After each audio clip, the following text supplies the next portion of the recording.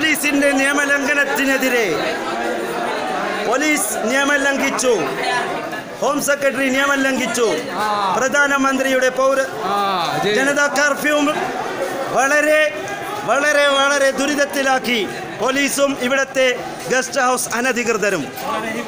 നാട്ടിൽ അലങ്കോലം നാട്ടിൽ അലങ്കോലം.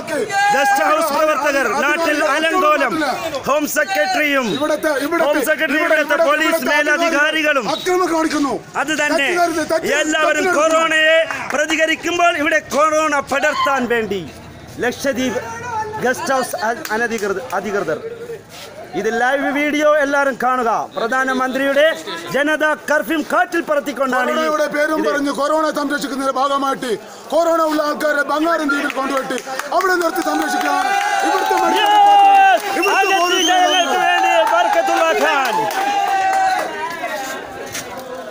ഇവിടെ പോലീസ് നിയമം കാറ്റിൽ പറത്തുകയാണ്.